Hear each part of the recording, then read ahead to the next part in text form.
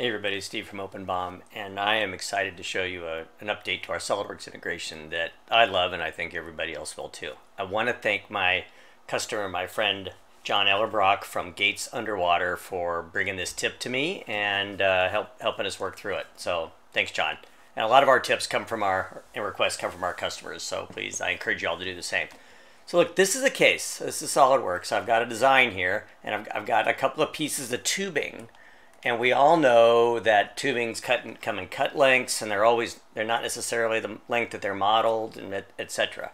So for this particular piece of tubing, I have used the SolidWorks feature that says, "Hey, in my properties, substitute the, the value of length for quantity."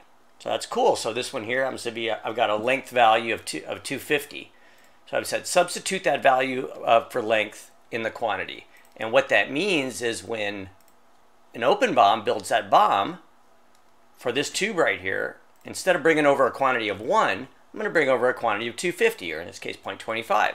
I've also got another one here that's four, that's a 4 and a quarter, so I brought over the quantity value for, uh, for that. And then finally, what's really cool about this is if I have several of these, and this is something that uh, OpenBOM takes uh, takes a great advantage of.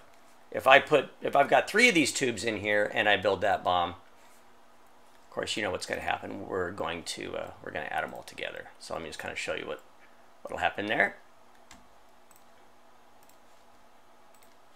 Now let's take a, take a look at that. I'm expecting to see 0.75 and there it is, 0.75 length on that tubing. So my people on the shop floor will ex know exactly what length to cut that. So anyway, that was using the, uh, that video was using the property substitution feature inside SOLIDWORKS to specify another property to use for quantity.